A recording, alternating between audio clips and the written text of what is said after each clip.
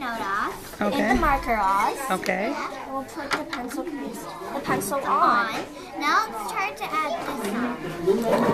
Okay, this might be too light, so let's grab What? Oh, what did? Hold on. Put that one back. What happened? Can you put that one back? Um, the pancake is um, um, Heavier than the pencil. Okay. Because maybe because Okay. maybe because um, the pencil's like a little shorter than the pa- pancake. Okay. Maybe it's a little bit lighter. Okay. So what are you gonna try to do next then? Maybe try to bounce it with just like a medium rock. Okay.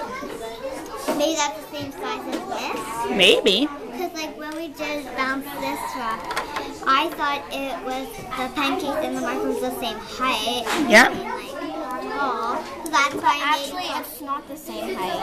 Oh. Okay, maybe this um found out that they're the Mm. Okay. So now what are you gonna do? Now, um, Are you gonna go back to the pencil idea? You put the pencil back in. we'll take that off. Okay. We'll add a pencil. Okay. Okay. And now And what? let's try to make it, balance it with some rocks. That's making it a little bit balanced. Pretty close. Because I'd say it's balanced.